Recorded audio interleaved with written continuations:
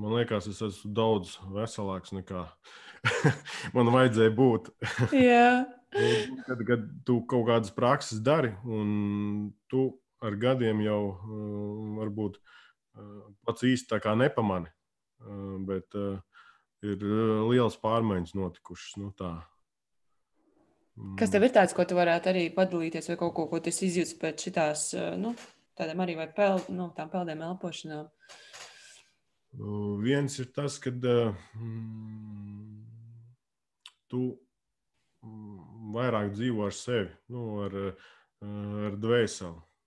Jo, jo pirms tam tu mm, dzīvo iekš ķermeņa, tad ar tādām praksēm tu nu, principā vairāk izdzīvo to dvēseles dzīvi, jo caur ķermeņa nu, ir jau iz vēstures jogas un, un visi tie, kas arī ne tikai saka, Indijas kultūrā, bet vispasaulē arī, nu, kad vairākās reliģijās ir askēti, Mm. kas dzīvo asketisko dzīvesveidu, guļ uz cietām virsmām, saldējās. Nu, tas mm, paver to daļu, ko cilvēki neredz ikdienā. Un citiem varbūt tas liekas, nu, kaut kāda trakie, kaut kas vispār. Mocīšana vai ne? Tāda mocīšana, jā, Mm. tam tas viss ir vajadzīgs. Bet eh, nu, daudziem, daudz, daudz atkal redz tur tādu īstenību un, un to, un to realitāti, kur viņi mm, tā kā grib eh, vairāk palikt nekā šeit.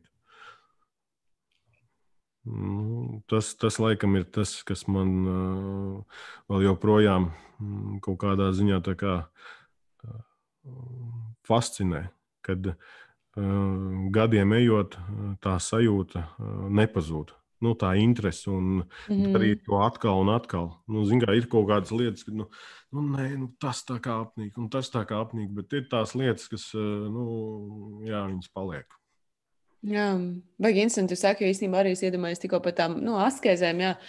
Viss, viss, kas jau saistīts ar tām Indijā, bija ar, ar tiem pašiem vai tur ēšanas, tās jogas, un nekas tur viegls nav. Bet, piemēram, tādu kā tur lekt no izplatnes, nu, tas ir jauki, forši un, un interesanti. Otrais, es baigi vairs, man liekas, neskriet, bet, piemēram, ja tu saki tur pa gavēņiem, jā, man patīk, man, man fascinē. Es varu vienkārši. Nu, vai cik tur oh, ir tāds vispār, kur nedzer, un uh, nu, tā kā nedzer arī nēdu, nedzer vai. Tā kā es esmu rītīgais uzreiz. Ja.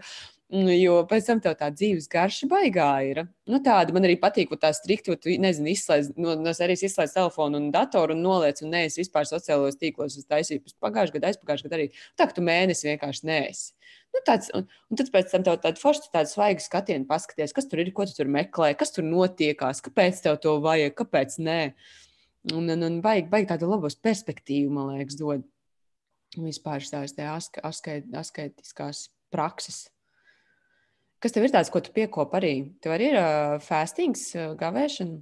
Mm, es eh, tā kā piekopu Ekadaši, kas ir 11 mm. -hmm. diena pirms un pēc Jā, uh, pilnmēnesis.